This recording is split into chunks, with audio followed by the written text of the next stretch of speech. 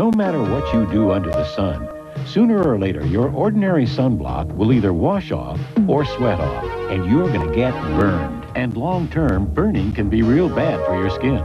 You need Bullfrog Amphibious Formula Sunblock. We called it Bullfrog because in or out of the water, Bullfrog stays on all day.